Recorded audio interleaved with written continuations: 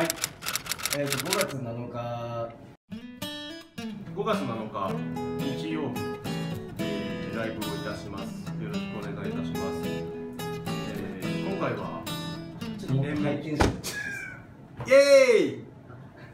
どうだこれで？そのまま続けたいそのままどう？もそんな感じでございます。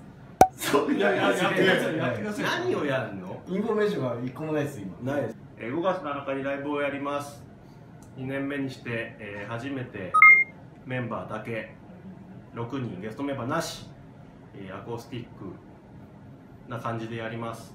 アコースティックライブ？アコースティックライブです。まおちゃんアコースティックってどういう意味か知ってますか？ちょっとわかんない。ウィキペディアで調べてもらっていいですか？アコースティック。アツペディアアツペディアアツペディアあるじゃんアツペディアコースティック。本来は聴覚のという意味。音楽ではピアノやフォークギターなど電気を使わない楽器をアコースティックな楽器と呼びそれらで演奏されるサウンドをアコースティックサウンドという。あまたダムシュとか。てかさこれ正面だけどあこれボボちゃん飲み物それらで演奏されるサウンドをアコースティックサウンドというなんかちっちゃいね。それらを全面に出したナチュラルなこれねヨーグルトのやつ。アコースティックあサウンドめちゃくちゃすよここメンバー紹介をしましょテンション高めでテンション高めて。ハイテンションメンバー紹介します本当やだ。まずはボーカル！もうだ何ってんだよそっちでいいだろハイテンションはもうじゃあハイテンション。テンション俺そんなタイプで知ってるじゃんハイテンションメンバー紹介を。じゃあダディからお願いします。まずはボーカル。ババちゃん。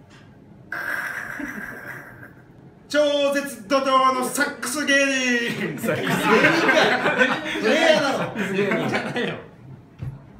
人じゃないよ。福くんイエここだけだよ福君と呼ばれるの本当に。ドラム！インフルエンザ治りたてケンちゃん！ーイ！イエ